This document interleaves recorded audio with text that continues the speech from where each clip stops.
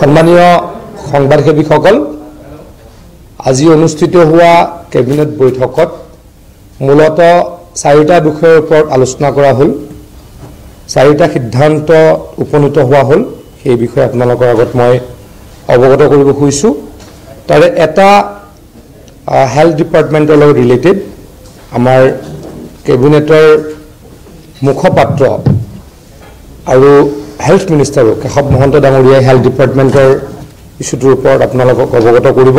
বাকী তিনিটা মই আপোনালোকৰ আগত কৰিবলৈ ওলাইছোঁ। আজি কেবিনেটে বি টি আৰ চিফ আৰু C E M Karbi Anglong C E M Dima Hasao Dima হাজাওক cabinet status দিয়াৰ সিদ্ধান্ত গ্ৰহণ কৰিছে। আগতে তেওঁলোক তেওঁলোকৰ সীমাৰ মাজত কেবিনেট ৰেংক তেখেতলোকৰ আছিলে কিন্তু ষ্টেট ৰেংক আছিলে ষ্টেট মিনিষ্টাৰ ৰেংক আছিলে।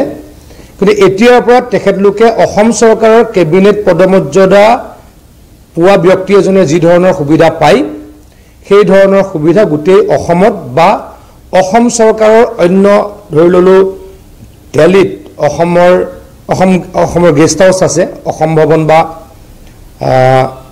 আছাম হাউচ আছে তাত সম অধিকাৰ পাব। মানে আমাৰ অসম চৰকাৰৰ কেবিনেট মন্ত্ৰী বা কেবিনেট ষ্টেটাছ দিয়া ব্যক্তি এজনে যিখিনি সুবিধা পায় সেই একেখিনি সুবিধা বি টি আৰৰ চিফ কাৰ্বি আংলঙৰ চি এম আৰু ডিমা হাজাৰ চিফেও চিফ এক্সিকিউটিভ মেম্বাৰে সেই সুবিধাখিনি লাভ কৰিব। এইটো ব্যক্তিগত নহয় পষ্টটোৰ ক্ষেত্ৰত হ'ব। প্ৰমোদ বড়ো ডাঙৰীয়া নহয় বি টি আৰৰ যিগৰাকী চিফ হ'ব। সেইটো তেনেকৈ কেবিনেটে আজি সিদ্ধান্ত লৈছে। কেবিনেটে আজি অসমৰ এডভকেট জেনেৰেল হিচাপে দেৱজিৎ শইকীয়া ডাঙৰীয়াক নিযুক্তি দিয়াৰ সিদ্ধান্ত গ্ৰহণ কৰিছে। আৰু কেবিনেটে যিগৰাকী বৰ্তমান এতিয়ালৈকে এডভকেট জেনেৰেল আছিলে ৰমেশ বৰপাত্ৰ গোহাঁই ডাঙৰীয়াক ধন্যবাদ জ্ঞাপন কৰিছে। তেখেতে অসম চৰকাৰৰ এডভকেট জেনেৰেল হিচাপে যিখিনি অসম চৰকাৰলৈকে সহযোগিতা আগবঢ়াইছিলে তেখেতৰ কাৰ্য ব্যৱস্থাক বা তেখেতৰ যি টেনিয়ৰ আছিলে তাক সন্মান জনাইছে আৰু ধন্যবাদ জ্ঞাপন কৰিছে। আজি কেবিনেটে আৰু এটা সিদ্ধান্ত লৈছে যে অসমত এতিয়ালৈকে ইনচাৰ্জ মিনিষ্টাৰৰ এটা কনচেপ্ট আছিলে। অসমৰ প্ৰত্যেকখন জিলাত বা একোখন জিলাত দুজনকৈ একোখন দুখন দুখন জিলাত একোজনকৈ মিনিষ্টাৰক আগতে আমি ইনচাৰ্জ মিনিষ্টাৰ হিচাপে স্বীকৃতি দিছিলোঁ।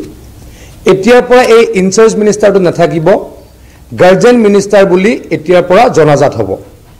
গাৰ্জেন মিনিষ্টাৰৰ কামটো হ'ব তেখেতে যিখন মিনিষ্টাৰৰ গাৰ্জেন মিনিষ্টাৰ সেই যিখন ডিষ্ট্ৰিক্টৰ গাৰ্জেন মিনিষ্টাৰ সেইখন ডিষ্ট্ৰিক্টৰ ডেভেলপমেণ্ট বা অন্যান্য কথা বতৰাবিলাক ডি চিৰ লগত বা জিলা প্ৰশাসনৰ লগত আলোচনা কৰি মুখ্যমন্ত্ৰী ডাঙৰীয়াক বা অন্যান্য মন্ত্ৰীসকলৰ লগত আলোচনা কৰি জিলাখনৰ ডেভেলপমেণ্টৰ কাৰণে কাম কৰিব।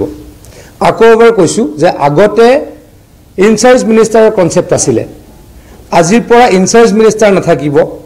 ইনচাৰ্জ মিনিষ্টাৰৰ ঠাইত গাৰ্জেন মিনিষ্টাৰ হ'ব আৰু গাৰ্জেন মিনিষ্টাৰজনে তেখেতৰ যিখন জিলা মানে মিনিষ্টাৰজন যিখন জিলাৰ গাৰ্জেন মিনিষ্টাৰ তাৰ গোটেই দায়িত্ব ডেভেলপমেণ্টৰ দায়িত্বই হওক বা অন্যান্য আইন শৃংখলাই হওক বা মুখ্যমন্ত্ৰী ডাঙৰীয়া সেই জিলাখনলৈকে ভ্ৰমণলৈকে গৈছে।